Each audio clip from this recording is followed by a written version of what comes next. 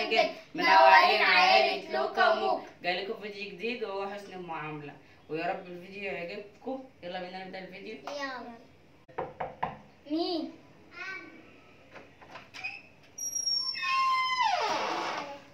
السلام في إيه؟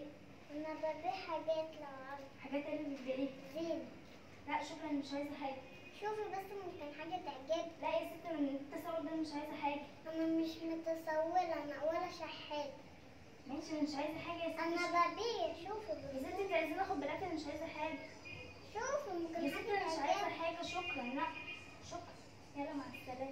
مش عايزة شكرا حاجة أنا مع إيه التصور ده مش عارفة إيه ده. في إيه؟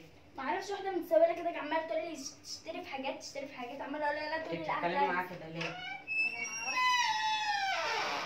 تعالي يا حبيبتي إيه ده وانت لسه قاعدة هنا تعالي يا حبيبتي.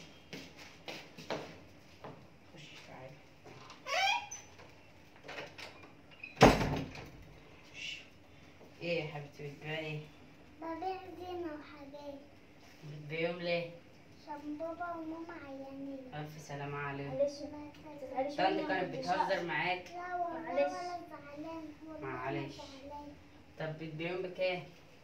ده ده ب- بعشرة وده بستة وده بسبعتاشر خلاص أنا هشتريهم منك كلهم الحمد لله يا رب في إيه؟ عشان عشان كنت عاوزة وبابا العلاج بالعلاج بكام؟ بخمسين جنيه. مش ثواني خدي الفلوس دي.